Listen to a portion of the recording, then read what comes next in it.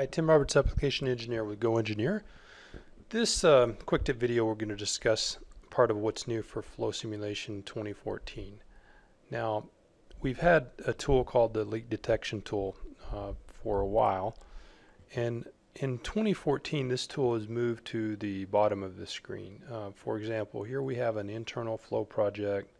Um, you know, I've got a couple of lids. We've got uh, the pink lid is going to be an inlet, the light blue lid will be an outlet.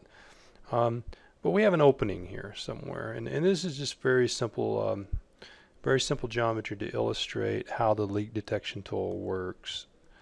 So um, the first thing you'll notice is in the lower right corner, uh, we get this non-watertight model. Now, as you probably know, um, an internal flow project has to be closed with lids, so all openings have to have a, a lid, a solid body that, that closes it so that flow can calculate the fluid volume. Okay, and then um, so we can click this and, and, and get the choice to automatically create lids. Uh, I'm going to say no to that for now.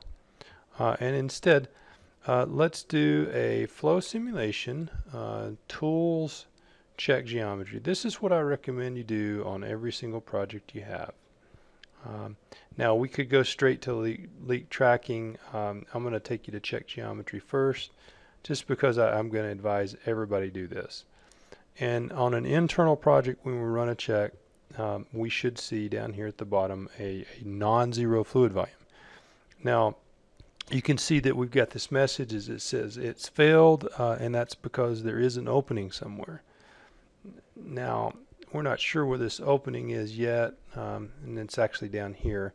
But let me um, illustrate how this uh, lid uh, leak detection works. So uh, we go to uh, this guy, which is open leak tracking. Okay, and we need to specify first a start face and then an end face. And ideally, in an assembly, these are going to be on the same component and uh, the start face uh, and the end face, uh, one needs to be an external face, one needs to be an internal face. So I'll do my select other here and get the inside face on this side. Okay, and now I'm going to say find connection. Okay, so what's going on here? Uh, you can see this red line is it's trying to trace um, a path between the start face and the end face.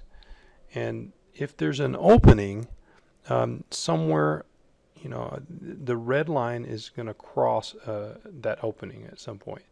So what you do is you kind of highlight these faces and it will show you uh, areas the red line is crossing and, and eventually if there is an opening you're going to see something like this okay and then that may hopefully become apparent um, if you only have one of these, we'd simply, you know, create a lid and away we go now.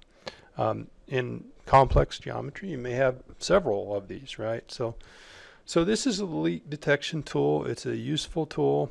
Um, it's a little more um, of an algorithm on, on finding these problem openings that you may not know that are there. So my name is Tim Roberts. Thanks for watching this quick tip video. Have a good day.